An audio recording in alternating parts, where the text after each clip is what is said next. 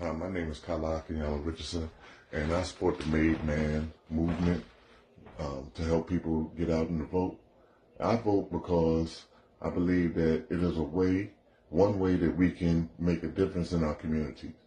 It's not just about the president or the vice president, but it's also about who our judges are going to be, the people that choose our police departments, uh, the people who enforce the policies in our children's education. So please, vote.